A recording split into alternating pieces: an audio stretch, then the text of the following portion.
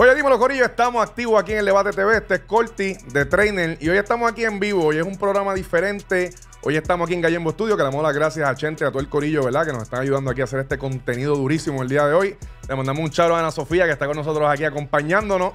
Y hoy tenemos un programa demasiado de muy violento. Hoy lo que estamos haciendo es, ¿verdad? Rompiendo los parámetros, porque hoy tenemos un invitado muy especial de un equipo, ¿verdad? Que mira, que el trainer ha identifi- identificado el día de hoy. Sí, y un bien. equipazo que, ¿verdad? Que siempre, cuando hablamos de BCN, siempre se tiene que hablar de, de los cangrejeros de Santurce. Y siempre pues traemos a los jugadores y hablamos de lo que está pasando, pero nunca podemos realmente identificar los movimientos, las partes que todo el mundo, ¿verdad? Empieza a hablar de que, ah, que el gerente general hizo esto y lo demás, y no le gustó, pero hoy tenemos aquí al gerente general de los cangrejeros de Santurce y un fuerte aplauso para nadie más que el gran René Morales. René. Morales, sí señor, un aplauso, un aplauso a René Morales que está aquí con nosotros. René, bienvenido al debate, el- bueno, el debate live aquí en Gallembo Studio, pero bienvenido al debate. Contra, gracias, gracias por tenerme. Lo sigo el contenido, ¿verdad? Últimamente están on fire con un par de entrevistitas, un par de personajes que han, que han tenido, así que estamos contentos de estar aquí. Durísimo. Trainer, ¿está Nos contento sentimos hoy? sumamente afortunados porque esta es la primera vez que hacemos un live con alguien personalmente, al tú a tú, y hacerlo con alguien de los... Oye, enséñale la camisa ahí a esta gente, ahí. eh. Esa camisa tiene un trasfondo, Mira, esa mira. camisa tiene algo más. Explícate un poquito, René, ahí, de- háblame de esa camisa. Esa cami- esta camisa es camisa original de Pigu. Eh, me la prestó gracias Pigu. de yo sé que él no presta este tipo de, ¿verdad? De, de, de memorabilia, pero me la prestó para el programa de hoy. Yo creo que era pertinente, ¿verdad? Eso vale, sí, señor. Tener la camisa de, yo creo que el jugador más dominante puertorriqueño que hemos visto en la historia. Así que mis respetos a Piculín y todo lo que hizo por el baloncesto de Puerto Rico. Durísimo. No, de verdad que sí, durísimo, ¿verdad? Y gracias nuevamente por, por este proyectazo que estamos haciendo el día de hoy. Eh, vamos a empezar estos últimos días. eh, los cangrejeros han estado sumamente activos, ¿verdad? De que estuvo el draft, de que estuvo, empezó el off-season. Y han habido muchas piezas, muchos cambios, que hay mucha gente que sí ha estado contenta, otras que no. Eh, pero desde tu punto de vista, ¿cómo ves a los cangrejeros de, de cara a esta temporada 2023 y qué esperas de tus cangrejeros este año? Pues mira, la realidad es que todo parte de la premisa de que entendemos que ha habido un cambio generacional en el baloncesto global. Eh, la manera en que se juega hoy día es con más espacios, es más, es más rápido. Y no tanto con velocidad, pero sino que la ejecución es más directa. Eh, así que para eso tienes que tener piernas frescas, tienes que tener jugadores jóvenes, tienes que tener tus veteranos, ¿verdad? Que, que puedan bregar con los jóvenes y el grupo. Pero de una manera u otra había que hacer un- una estructura para tener un futuro de este equipo, ya que es un equipo de expansión, viene, viene sin piezas y sin nada, hemos construido poco a poco a través de los dos años. Y nos estamos sumamente contentos, obviamente, con las piezas jóvenes que logramos conseguir. Este, y ahora mismo estamos, tenemos una expectativa grande de- de- de- del grupo, viendo cómo va el trending del baloncesto en el BSN, un juego bien físico, que se juega muchas veces a la semana, pues hay que tener un core de jugadores que puedan jugar todos los días. Yo creo que, que, ¿verdad? Antes, vamos a ir a la pregunta de debate ya mismito, pero hay que hablar de lo que pasó el año pasado. Eh, obviamente los cangrejeros de Santurce en un momento dado se, se, se vio, ¿verdad? Se vieron bien y pensaba, el mismo trainer estaba activo, ah, Corti, vamos a ganar, vamos a ganarlo todo. Pero pasó lo que, lo que nadie pensó que iba a pasar. Y es que los cangrejeros de Santurce pierden contra los Atléticos de San Germán, que obviamente después se vio, ¿verdad? Que llegaron hasta, hasta la final, pero nadie veía eso pasar. ¿Cómo, que- cómo te sentiste cuando, cuando, cuando viste la derrota, cuando empezó este revolú? Que el trainer tiene varias preguntitas de ese revolú que pasó allá, pero ¿cómo te sentiste esa primera vez que, que- que cuando viste perdieron los cangrejeros? Pues obviamente, eh, primero fue chocante el, el ver el contraste de juego, ¿verdad? Entre, la- entre los dos equipos y lo físico que se estaba jugando. Eh, ir a San Germán era complicado. El que no sé si tuvieron la oportunidad de ir a San Sí, Germán el año pasado. Sí, sí. Eh, pues obviamente sabíamos que íbamos a tener situaciones si no lográbamos tener las piernas para, para aguantar el empuje, ¿verdad? De los, de los, como decimos, los chamacos, entre comillas, jóvenes que tiene San Germán. Y no era la expectativa. Entendíamos que, que era, que era la semifinal, queríamos a medirnos con Arecibo y demás. Eso fue sumamente fuerte y sorprendente y por eso fue que nos tuvimos que sentar y decidir qué vamos a hacer. Eh, esta no era la meta, esto no funcionó. Eh, hay que movernos en otra dirección completamente distinta y rejuvenecer, pero a la vez manteniendo la competitividad. Claro. So, fue un golpe fuerte y, y obviamente de las, de, de las derrotas y los errores es que uno aprende y uno se mejora. No nos caímos, pero nos vamos a levantar y confiamos en que hicimos las movidas correctas. Trainer. ¿Qué tan difícil debe ser, verdad, cuando tú confesionas un equipo y tus intenciones son ganarlo todo? O sea, Santurce, tú sabes que nosotros siempre hemos sido, y yo digo que es la meca del deporte en Puerto Rico, Santurce. Siempre que se siempre que Difiero de ti, dice pero dale. yo te puedo explicar después, después, después te doy clases porque es la meca. Pero, Ya, ya, ya. pero, pero siempre que se habla de los cangrejeros es winner bust. O sea, nosotros tenemos que, y siempre nos preparamos para eso. Tú como gerente general, obviamente ya nos dijiste que el cantazo, lo que realmente te hizo caer en tiempo fue perder contra este equipo que no tenía ningún tipo de expectativa. Eh, ¿Qué tan difícil es para ti decir, mano, eh, wow, que tenemos que reconstruir? O sea, tenemos que dejar de, estar filmando eh, jugadores para rellenar y es hora de tener que reconstruir el equipo from scratch. ¿Qué tan difícil fue eso como gerente general? Yo creo que más difícil que para mí, ¿verdad? Tomar esa decisión fue que, que- los apoderados creyeran en ella también, porque el riesgo es de ellos. Y todo esto se dio porque ellos creyeron en que, en que ese, podía, ese era el plan ¿verdad? del equipo para conseguir turnos y hacer algo que durara más años. Eh, yo a, a la vez que me senté y estudié y entendí lo que pasó el año pasado en el BCN y lo que va a seguir pasando, eh, pues se tomó la decisión de que había que tomar, ah, bueno, había que hacer unas decisiones fuertes. Eh, y lo más importante fue el apoyo de, de- de los apoderados y de la gerencia, que todos nos pusimos para el mismo plan y todos entendimos el proceso. Así que apostamos a una filosofía y esperemos ¿verdad? que se nos dé. ¿Qué tan difícil? eh, es que tengo tantas, tengo tantas preguntas a los cangrejeros, porque siempre los cangrejeros, como que es el equipo que se está moviendo, pero no, no, ¿me entiendes? Como que no es el equipo que está en las redes sociales como que en un palo, ¿me entiendes? Hay siempre San Germán, los vaqueros, que siempre, ¿verdad? Tienen sus cosas, pero los Santurce siempre ha tenido un equipo, ¿verdad? Que, que ha mantenido, los mismos jugadores se han mantenido fuera de, de- bochinches y líos y demás. Dos preguntas. Número uno es la de la de verdad, la famosa pregunta de José Juan Barea. Eh, mucha gente no estuvo de acuerdo cuando José Juan Barea llega, llega a, a Santurce, pues por- porque siempre se hablaba de- de- la longevidad de la, de la edad de los jugadores de los estos. Y nos había pasado molestando al tren. Me dice, Estamos- tienes ahí un asilo. Y entonces, pues llega, llega José Juan Barea, que aunque José Juan Barea es José Juan Barea, pero pues mucha gente pensó que lo que necesitaban era la juventud y necesitaban un poingal más joven. Eh, fue un trabajo traer a José Juan Barea, o sea, como que lo cogieron por el nombre, lo cogieron porque, pues, pues, porque se- ya se iba a retirar, o realmente fue un- una firma que ustedes pensaban que le iban a llevar más lejos en el BCN. Nosotros entendemos que la pieza principal y por el cual esta- este equipo de expansión se dio fue porque José Juan eh, se comprometió, igual que Filiberto, dos capitanes y veteranos y leyendas de nuestro baloncesto, Sí, señor. que dijeron que sí a un equipo sin jugadores, porque tú eres José Juan Barea, tú ganaste la NBA, tú eres selección, tú hiciste todo ya, pues ahora irte a un equipo a tus 36, 37 años que no tiene jugadores, que no sabes qué va a pasar, que a la presión está bien fuerte porque es Santurce. Eh, so, gracias a que ellos se comprometieron, fue que de ahí empezamos a construir el resto. El que pues, no hay agencia libre en el BSN realmente y tenemos el último turno del sorteo. El sorteo no era el mejor, no era el de este año, por ejemplo. Eh, so, lejos de que fuera trabajoso, yo creo que fue el pilar de que esto se diera y de que fuéramos tan grandes como fuimos y que nos dio la oportunidad en esos dos años ir añadiendo piezas hasta donde estamos ahora, que ahora tenemos turnos, jóvenes y demás. Pero sí puedo entender lo de la edad, eh, pero volvemos, un equipo de expansión no trae jugadores. Tienes Claro, que, claro. Es como están hablando de hacer el equipo en Las Vegas. Ustedes vieron el equipo que proyectaron hacer de Las Vegas. Un montón de jugadores que no están en la No NBA. están en la NBA. Eh, so, al yo te digo que nosotros estamos sumamente agradecidos de José Juan y de Philly. Eh, ahora José pasó a su, a su otra etapa, que yo pienso que José en algún momento va a terminar la NBA trabajando, el respeto que él tiene allá y, el, y el cariño que le tiene, el carisma que él tiene. Eh, y Philly yo creo que también va a ser coach. Sí, señor. O sea, que todas esas cosas, como ellos tenían visión más allá de jugar baloncesto, eso nos ayudó también a todo el mundo a aprender, crecer y desarrollar lo que hacemos. So, yo sí entiendo lo de la edad, pero yo creo que sin ellos, imagínense sin ellos estos dos años hubiese sido bien Sí, complicado. ¿Te, te sorprendió, te sorprendió que, que José Juan estuviese tan rápido, ya ligado al BCN nuevamente? No, José Juan vive para el baloncesto igual que Philly. O sea, yo digo que, que son dos personas que, que aparte de jugarlo son fanáticos del deporte y les gusta de diferentes maneras, pues a Philly le gusta dirigir, le gusta bregar con los niños. Claro. A José le gusta más ser el ejemplo, eh, estar en la parte administrativa y demás. No dudo que esté en algún banco algún día o dirigiendo de nuevo, eh, que yo creo que también para allá es que va, ¿verdad? A dirigir. Ya lo hizo una vez y lo hizo bien. En Mayagüez lo hizo bien. Creo que tiene ese tacto con los jóvenes, fue jugador. Él sabe lo que, lo que conlleva llegar a donde él llegó. Un jugador de 5-10 de Mayagüez, Puerto Rico, ¿verdad? Terminar con un trofeo en las manos, ganar la COVID a Kevin Durant, a LeBron.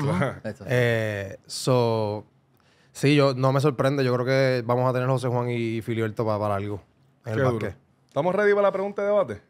Como tú quieras. ¿Estás listo? Yo, yo tengo 75 preguntas. Ya está. Tú me dices. Vamos a darle, vamos a darle a la pregunta de debate aquí rapidito, así que como siempre, Corillo, empezamos con la pregunta de debate de este día, aquí en Debate TV, que tenemos nuestro invitado aquí, el gerente general de los cangrejeros de Santurce, René Morales. Así que estamos activos. René, listo. Súper. Vamos para encima. Dos minutos, dos minutos para cada, cada concursante de aquí eh, contestar su pregunta. Dos minutitos. Empezamos contigo, René.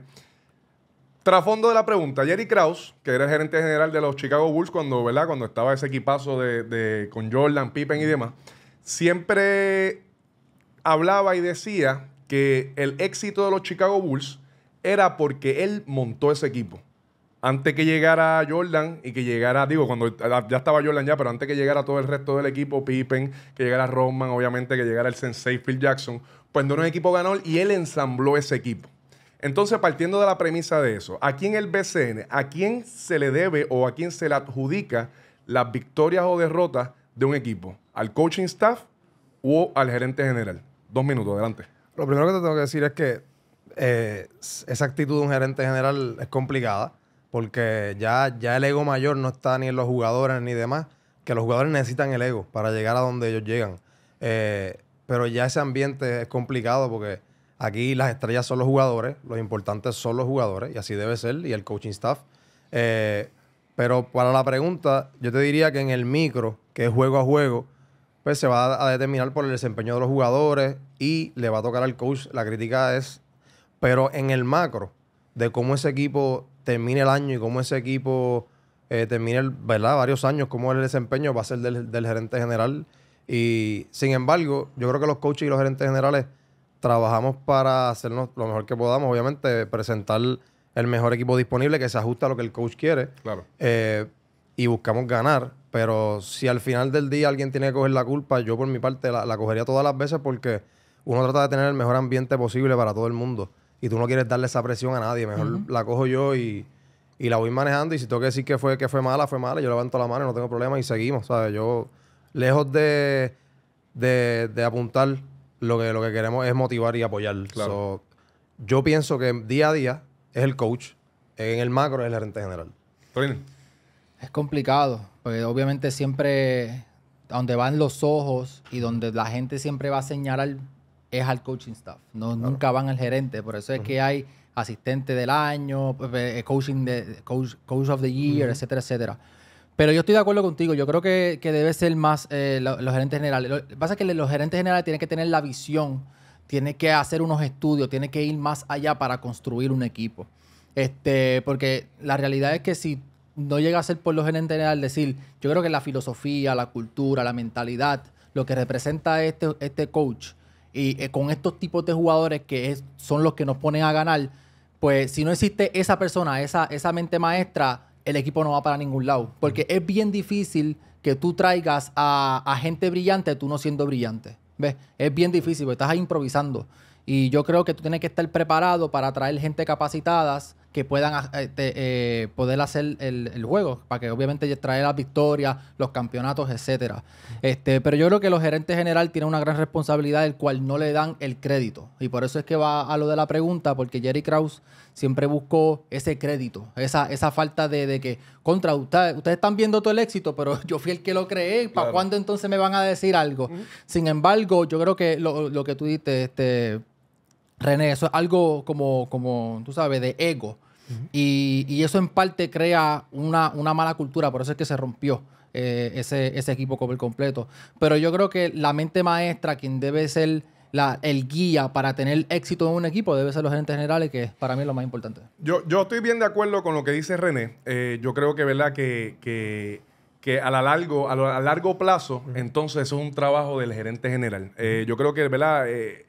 Sí se le paga a un, a un dirigente, eh, ¿verdad? Y, y cuando tú le pones un equipo eh, que está como el de ustedes, que está un equipo de expansión, un equipo que está creándose nuevamente a hacer lo que eran los cangrejeros antes, pues obviamente pues un- un- tú no puedes exigirle a un dirigente, tienes, te voy a poner este año, tienes que ganar porque tú sabes lo que le estás dando, las herramientas que le estás dando. Pero yo creo que el, al final del día, el, el- lo lindo de un equipo y el éxito de un equipo tiene que ver con el gerente general porque fue el que cogió esas piezas y las puso en donde tenía. Si tú le das unas buenas piezas con un buen coach, pues entonces pues el coach, ¿me entiendes? Va a bregar. Pero si tú no le traes, hay excelentes coaches que no ganan porque no tienen las piezas que necesitan, porque los gerentes generales no tienen esa visión.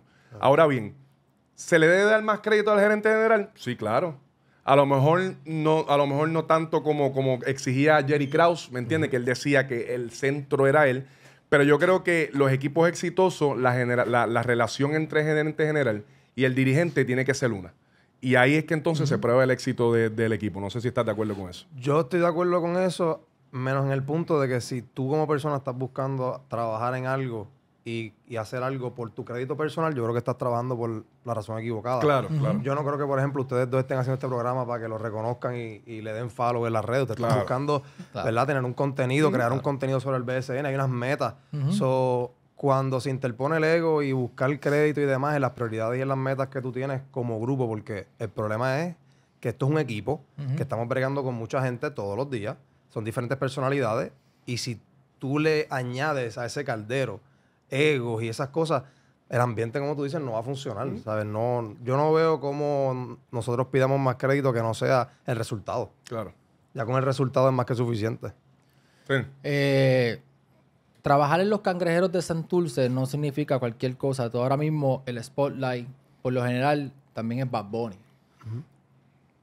¿Qué tan yo, yo, quisiera saber, tú como en, en tu experiencia so far como gerente general, ¿cuál ha sido la decisión más difícil que tú has tenido que tomar porque todos los ojos están puestos en esto. O sea, además de que, de que sí somos una franquicia de muchos años de tradición, pues ahora mismo hay alguien que probablemente sea el artista número uno del mundo. O sea, que todos los ojos están puestos en Bad Bunny y después de ese artista, quien va es el gerente general, que es el que confecciona, el que tiene que tomar decisiones. ¿Cuál ha sido la...? algo así es, algo así es, así es. Eso, es, real, es real. Y a veces uno ni lo piensa porque se pone esa presión, muchachos. Gracias por eso. Gracias por decirlo. es real, es real, es real. Tú eres, el, tú eres, el, tipo que está poniendo, o sea, Bad está dando y, ¿verdad? y la gerencia eh, están dando, poniendo el ticket, pero entonces tú eres el que tiene que juntar y poner eso bonito. ¿Cuál, ¿Cuál, ha sido esa, esa cuál, fue, cuál ha sido esa la, la, decisión más difícil que tú has tenido que tomar? 100% los primeros playoffs que jugamos el primer año contra Recibo, que teníamos a Frank Gaines, que es una máquina. Frank Gaines, una máquina. Eh, estaba jugando fuera de posición, él es un 2, estaba jugando la 3, con Sosa al lado, con JJ. Éramos un equipo bajito. Álamo nos dio unos minutos increíbles, se, se lesiona. Eh, Piwi estaba lesionado del hombro, nos quedamos sin estatura. No había comunitario disponible en ese momento, porque el comunitario, pues, si, si necesita visa, no te da tiempo. Todo ese tipo de cosas. había que hacer un cambio y, el, y queríamos. Básicamente fue un Hail Mary, porque Arecibo estaba bien completo, estaba con mucha estatura, eran todos los puestos a nosotros.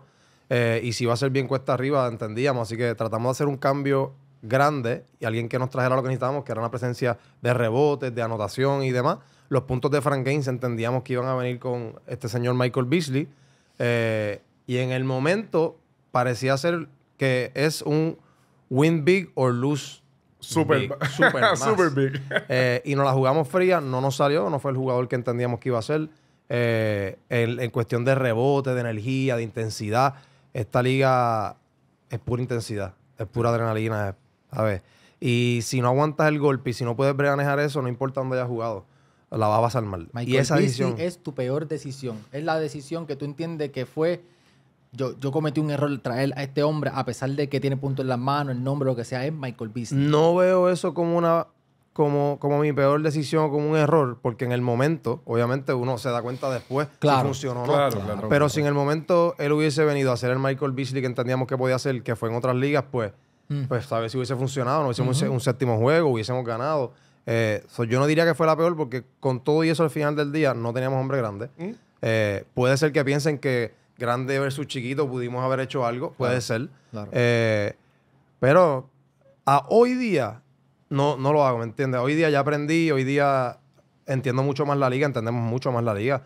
ya no es cuestión de nombre, está escrito. Es cuestión de jugadores que quieran jugar, que, tengan la necesidad de jugar basquetbol y el hambre. So, esa fue la decisión más difícil y yo creo que la más criticada y la puedo entender, ¿sabes? 100%. La...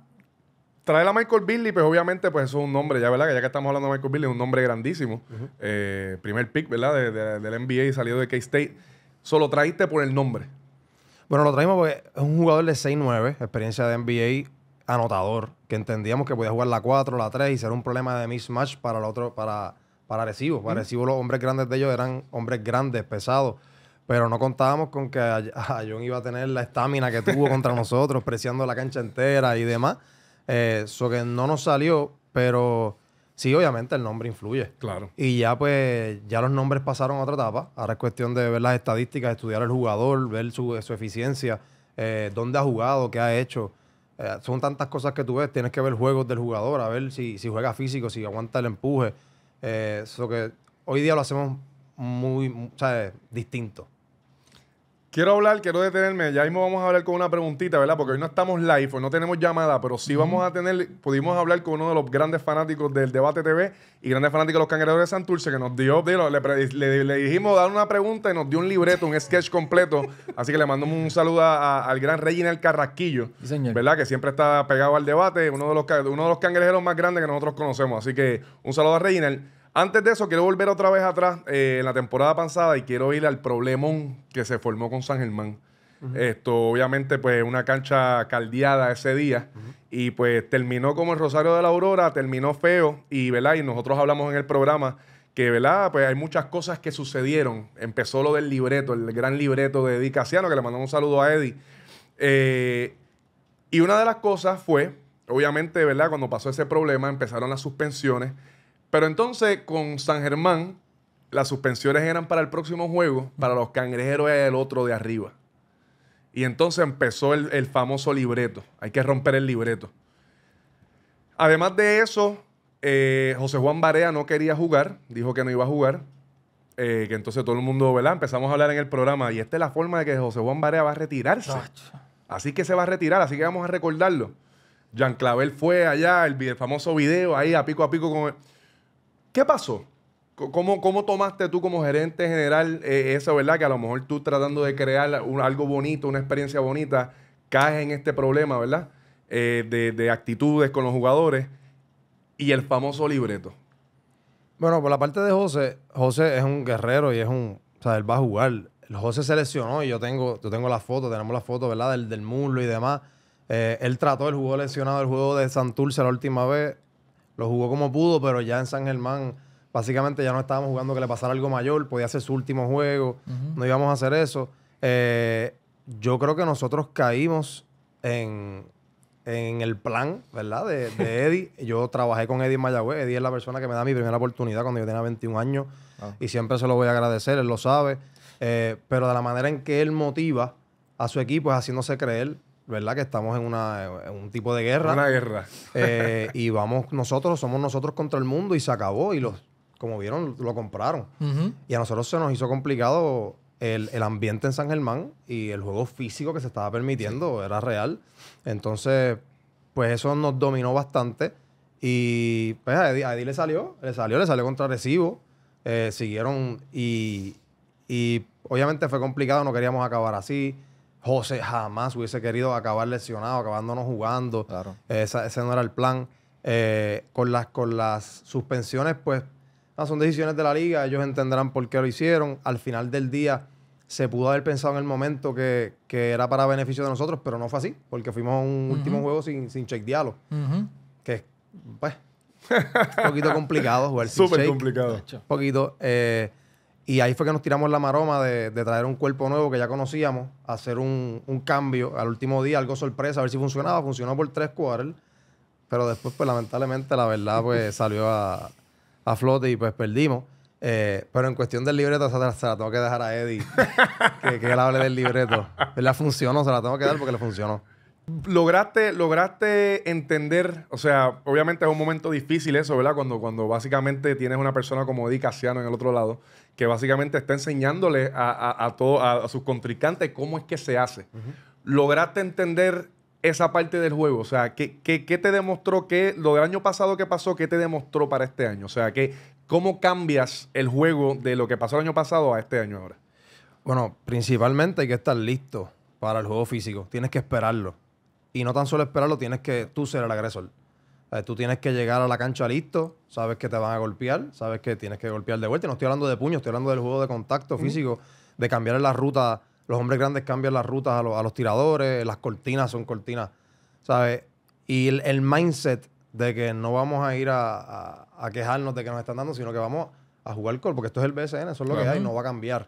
Yo creo que cada vez va a ser más intenso. Cada vez los jugadores son más rápidos, son más atléticos, hacen más cosas, juegan más posiciones, así que el mindset va a ser, vamos a estar listos para lo que viene, vamos a tener las piernas frescas para correr y para, para aguantar el empuje, ¿verdad? De ese juego físico. Eh, la última vez que yo dije que sea sincero conmigo, pasó lo de dedicación. Pero lo- yo de verdad necesito que me sea sincero en esta, porque tengo, o sea, tengo la oportunidad de poder tenerte de frente. Y la- lo, lo que se basa los gerentes generales son de decisiones. Eh, Iván Río no está ya con nosotros, queda un espacio como eh, estamos buscando la vacante de- de- del coaching staff. Sale el nombre de Mike Greenberg, salen un par de nombres.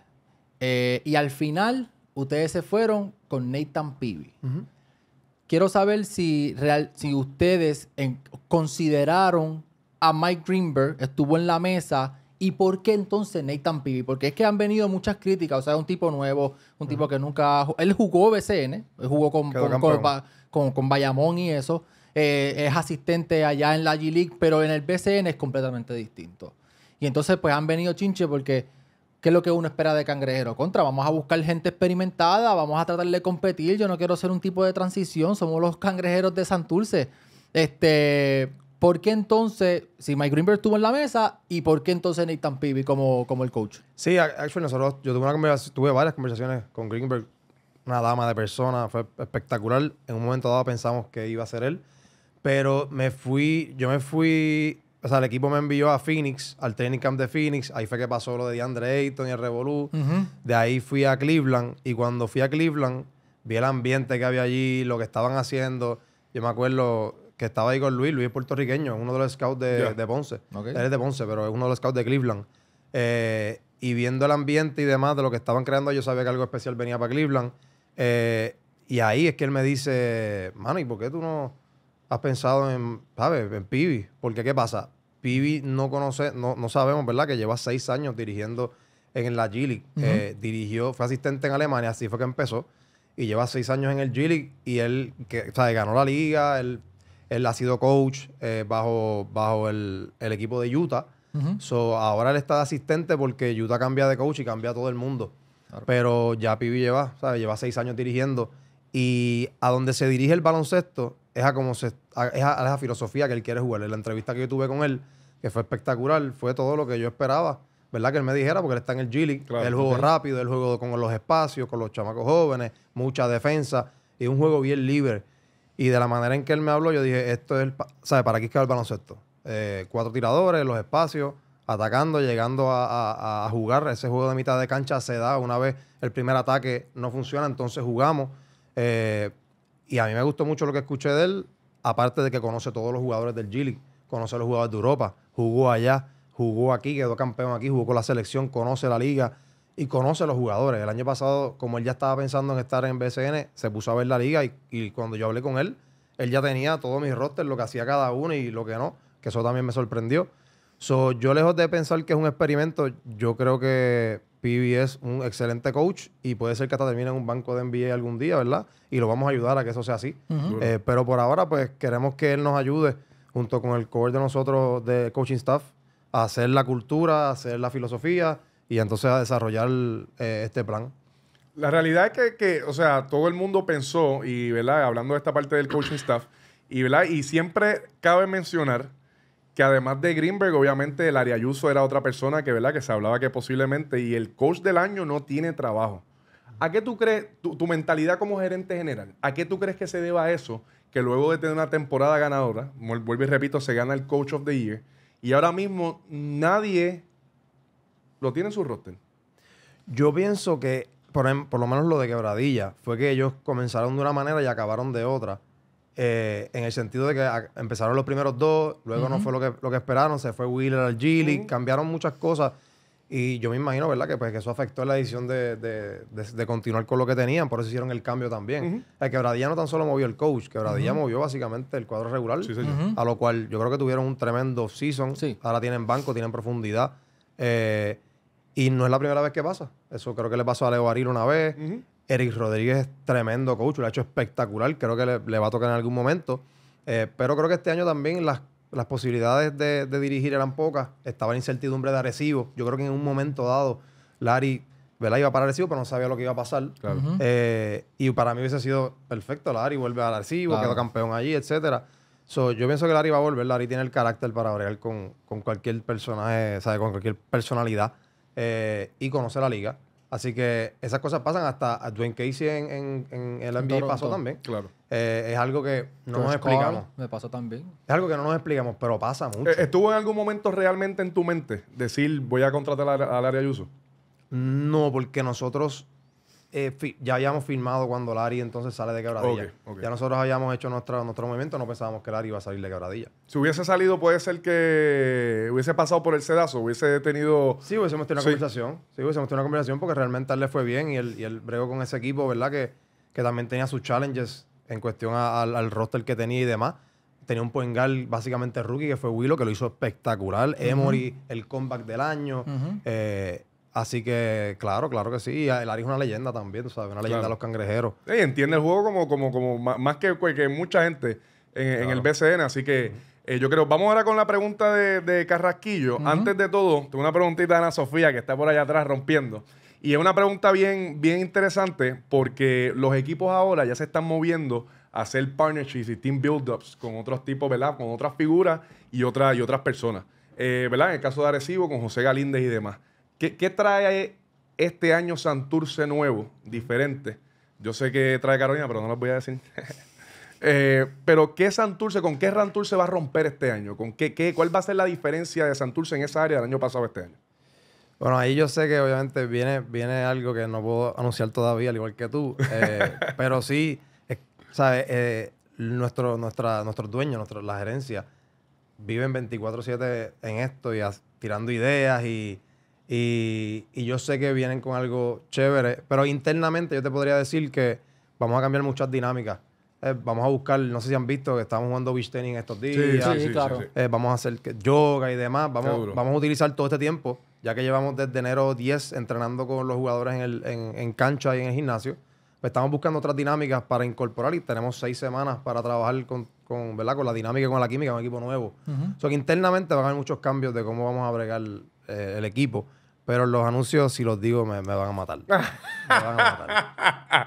ya, quiero, quiero ir con la preguntita de nuevamente. Saludito a, a- al gran Carrasquillo, que está con nosotros, ¿verdad? Siempre pegado al debate. Él tiene esta pregunta eh, que está súper interesante. Dice, eh, ¿cómo crees, eh, crees como gerente general que las nuevas medidas de seguridad impulsadas por la liga podrían evitar las irregularidades que hubo en la serie en eventos como Arecibo, San Germán y Santurce? Fíjate, es que yo siento que las cosas que pasaron fueron dentro de la cancha, ¿sabes? Las cosas que se excedieron de lo que debe pasar fueron dentro de la cancha, fueron entre jugadores y demás. Fuera de que la fanaticada estaba bien medida en el juego eh, y, que, y que había una intensidad enorme porque son los playoffs y es así, eso no va a cambiar, yo creo que eso va a intensificar. Pero obviamente sí va a haber más seguridad en las canchas. Eh, y, y como quiera íbamos trending a eso. Claro. Eh, cada vez estamos mejorando más el espectáculo eh, y mejorando mejor lo que es el evento, más lo que es el evento. So, claro que sí, ¿sabes? Se van a tomar carta en el asunto que todo lo que tenga que ver con la seguridad no tan solo de los jugadores, sino de la fanaticada también, porque esto es algo familiar.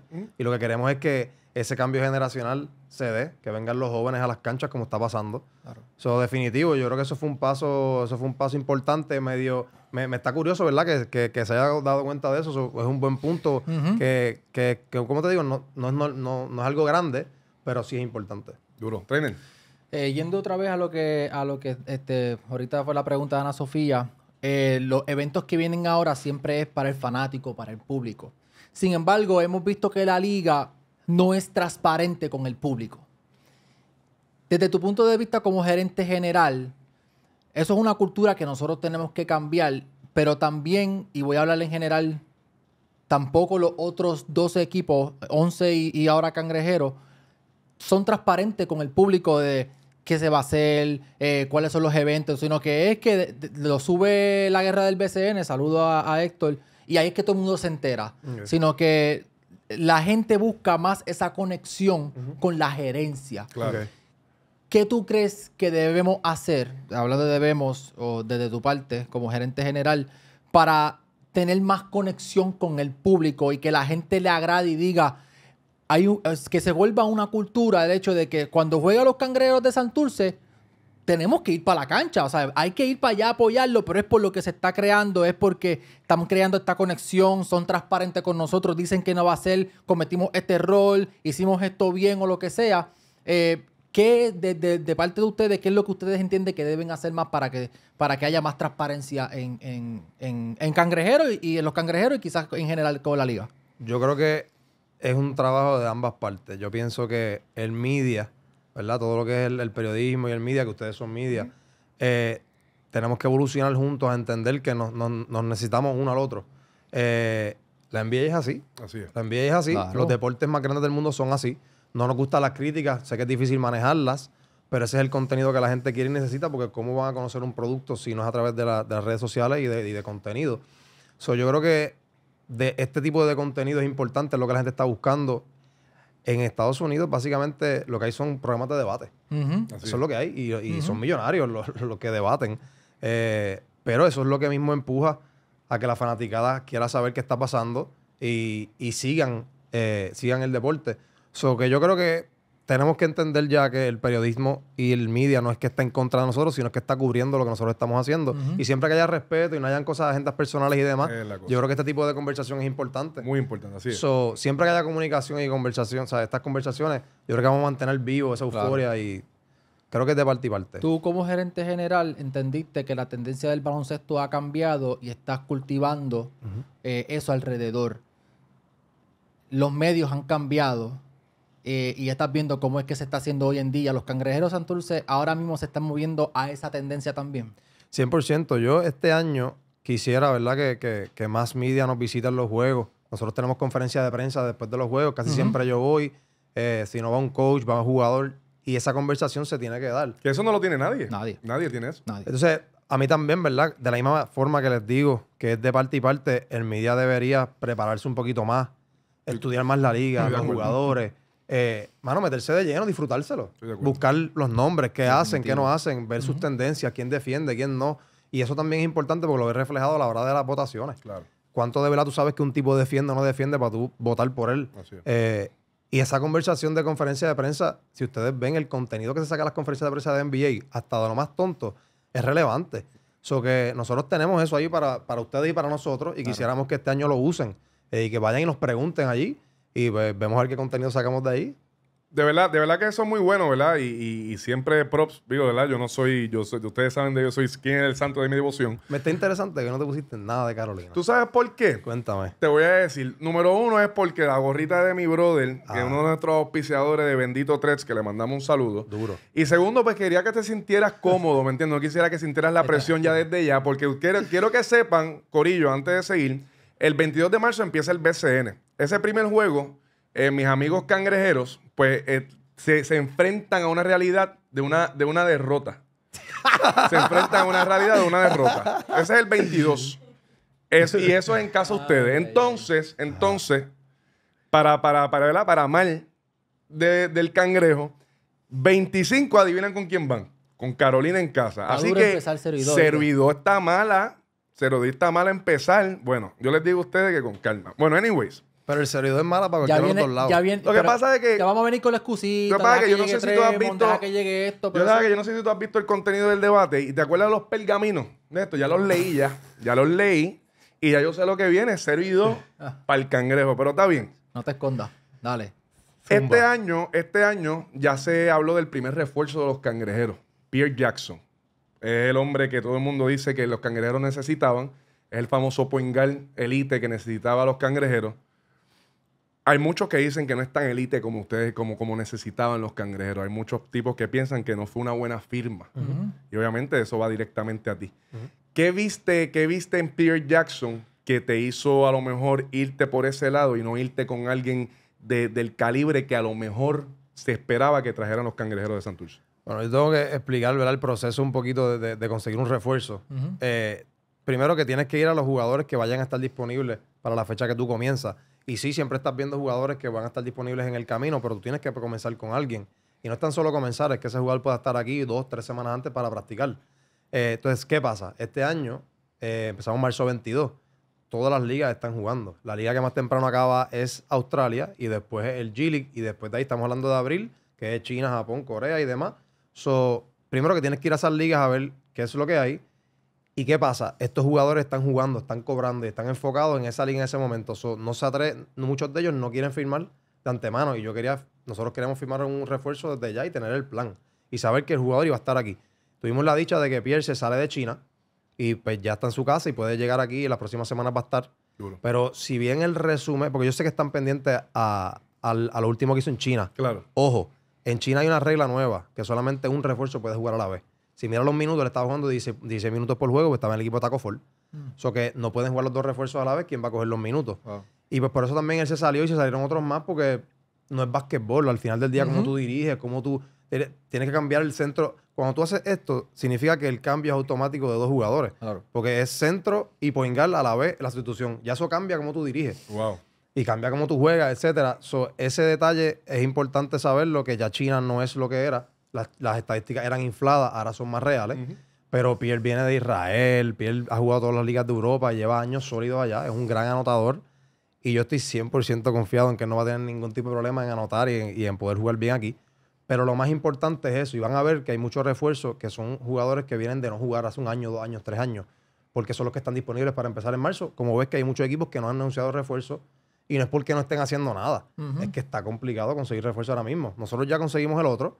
Prontamente vamos a can, fíjate, yo iba a hacer preguntas. Yo sé que venía por ahí. Con la letrecita, veo, veo que ve. Te puedo, dar- te puedo adelantar que es un ancla defensiva, un jugador de mucha energía, un jugador que va a correr la cancha, que va a llenar los espacios, que nos va a dar las cosas pequeñas para que nuestros anotadores, que es Piel, Alfonso, el mismo Matías y demás, pues se les haga más fácil el trabajo a ellos. Pero ¿Qué posición más o menos? Centro, centro. Centro. centro. Centro. Y es joven también, tiene 26 años. El centro que le faltaba, ahí está. Sí. Cangrejo. Viene, viene, viene. Todos tranquilos, estamos bien. Estamos bien, estamos bien. Este, yo creo que de las cosas más complicadas de un gerente general es a la hora de escoger refuerzos. Eh, yo creo que me explique más o menos ese proceso de, de la presión, de decir, eh, yo necesito buscar estos refuerzos, eh, por qué camino nosotros vamos. Y si en algún momento tú has entrado en desesperación de decir, es que tengo que buscar, o sea, tengo que salir ahora para este sitio, para acá, porque es que, o sea, necesito el refuerzo. Te hago esta pregunta porque nosotros, pues, en el debate también hemos sido críticos que la, la liga se ha dirigido mucho a lo que son los refuerzos. Y la gente está yendo a comprar un ticket porque va a haber un refuerzo, no va a ver al equipo nativo. Por eso te digo, si tú realmente entras en desesperación o, o sientes demasiada depresión a la hora de buscar un refuerzo. Fíjate, en, en- en eso que dijiste, te- tengo, tengo una opinión y es que lo bonito que tiene el- la Liga de Puerto Rico, la fanaticada, es que nosotros seguimos los equipos.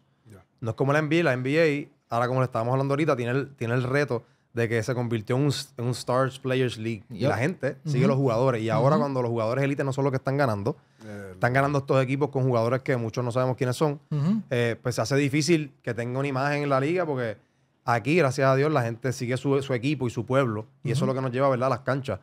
Pero por la parte de nosotros, pues este año comenzamos a trabajar en agosto, en, en julio, cuando nos eliminamos aquella, aquel martes en, en San Germán. Eh, ¿Cómo olvidarlo? No hay manera, no hay manera. Pero me dio nos dio toda la energía y el hambre para trabajar sin parar desde julio. Y ahí fue que yo me fui de viaje, fui a ver, fui a ver jugadores, a hacer conexiones. eh, y obviamente no sabíamos cuándo iba a empezar la liga, eso es lo más importante, para tú saber a quién vas a contratar. Originalmente íbamos a buscar jugadores de Gili, que Nathan los conoce, que los pude ver. eh, y fui a práctica, fui a México. Yo, no, no- tuvimos el tiempo para hacer esto. Luego cambia todo cuando dicen que es marzo 22. Pero el desespero no llegó porque trabajamos con tanto tiempo que teníamos las opciones y que nos adelantamos a lo que venía, porque sabíamos que no iban a haber refuerzos, porque ya sabemos cuándo acaban las demás ligas. La matemática es simple. Si las ligas están jugando, no hay refuerzos disponibles. Tienes que sacar a alguien. Eh, so, lo hicimos con tiempo, nos adelantamos sabiendo, ¿verdad? La opinión que les dije de que la liga este año va a ser distinta. Vamos a tener unos roster en marzo 22, vamos a tener otros roster en, mayo. Cuando los refuerzos cambien, los nativos lleguen y demás, tenemos 35, 36 jugadores fuera en marzo 22 nativos. So, nosotros nos movimos bastante rápido porque queremos los, refuerzos lo más temprano posible aquí para tener ese arranque, ¿verdad? Y, robarnos la base, como decimos, para esos primeros 10, 15 juegos. Pero no, no entramos en desespero, de verdad. Sabíamos que se iba a dar porque lo hicimos, lo hicimos con tiempo. Para terminar, obviamente se, espera, como habíamos dicho ya varias veces, marzo 22 comienza nuevamente el, nuestro BCN. que quiero que te dirijas a los fanáticos, ¿verdad? Yo creo, yo sé que los cangrejeros están bien, bien activos y están en esa espera de qué va a pasar con el equipo, qué terminaremos. Obviamente difícil, como acabas de mencionar esto, va a haber dos rosters cuando lleguen los refuerzos, ¿verdad? Los, que a lo mejor todo el mundo quiere, reales, que terminen estas ligas. Pero quiero que te dirías a la fanaticada cangrejera y les digas qué, va a pasar este año, cuál es la mentalidad del cangrejo y, hacia dónde se dirigen. yo, tengo una visión, ¿verdad? Tenemos una visión de que este año se va a sentir una diferencia en, en la intensidad y en la manera que vamos a jugar porque tenemos las piernas y los jugadores jóvenes para hacerlo, los jugadores, los wing players, los defensive players. Vamos a tener una rotación más, más amplia eh, y eso nos va a cambiar un poquito la energía. Eh, y yo creo que se va a sentir, ¿verdad? Los primeros juegos, eh, cuando esa vibra y esa, y esa, esa, esa, energía de los, de los chamacos jóvenes y de, los, de los nuevos que tenemos, que son, para mi entender, buenas personas, pero tipos que trabajan y que están hambrientos por demostrar. Eh, yo pienso que el Chiefs se va a sentir en esos primeros juegos, va a sentirse que es un equipo totalmente distinto. Va a haber gente que va a pensar, ya, este no es mi equipo, ¿qué es esto? ¿Sabes? Pero de manera positiva. Yo les pido que confíen, que, estamos trabajando, llevamos trabajando meses en esto. Todo ha sido estudiado y trabajado con, a, la, par con los, con los coaches. Muchas horas, muchos videos, muchos juegos. Eh, pero apostamos en una filosofía y, y esperamos, ¿verdad? Creemos que nos va a salir. Que confíen en el proceso. René, nosotros te damos las gracias. Eh, ha sido, ¿verdad? Un programa. Le damos las gracias a la gente de Gallimbo Studio, ¿verdad? Que nos permitió estar aquí este día de hoy. Y, gerentes generales como, como, como René, que tienen esta visión, ¿verdad? Esta, ya integrarse al BCN de una manera que no se ha hecho antes. Y realmente entender que la liga va para adelante y no para atrás. Recordar siempre que esta es la liga, yo no, yo no me canso de decir de esto, esta es la liga profesional de baloncesto de Puerto Rico. Esto no es un chiste, esto no es aquí para que la gente venga a pelear, bochinche, esto es la liga profesional. Hay que invertir en nuestra liga y tienen que la gente, la misma liga, tiene que ponerse a, par con los equipos y como tú dijiste bien, que yo creo que nunca nadie ha dicho eso y me siento muy orgulloso, el media, que, que, que es parte de esto. Y nosotros hacemos esto, ¿verdad? Aquí en el debate para no, no, ¿verdad? Y eso lo hablé otro día en un programa, porque luego esta entrevista de, de Casiano, ¿verdad? Ha llegado mucho, han llegado cosas buenas, pero pues al mismo tiempo también la gente nos ha dicho varias cosas y... y, pero eso va a pasar. Claro. Eso va a pasar y es parte de, tú sabes, eh, ustedes no van a controlar lo, que, lo que se hable y demás, pero siempre que, y el se los digo de consejo, siempre que mantengan esta línea de respeto, aquí tuvimos y podemos discrepar y podemos tener diferentes opiniones. Y puede ser que yo no te convenza. Claro. Pero lo discutimos, lo hablamos, nos respetamos al final del día. Claro. Y yo creo que la gente siempre va a responder a eso. Definitivamente. Así que nada, René, hermano, ha sido un placer para nosotros tenerte aquí. Eh, te deseamos el mayor de los éxitos. Obviamente, después del Sorido, puedes empezar a ganar por ahí para abajo. Mientras te enfrentes a Carolina, pues obviamente con Calmola. Mira, te voy a lanzar un, reto. Un reto. Aquí delante Duro. Me gusta no me digas, el reto no puede ser si pierde Carolina porque no va a perder. Así que tienes que inventarte otra cosa. Si tú empiezas 0 y 2. Mm, dificilísimo, pero dale.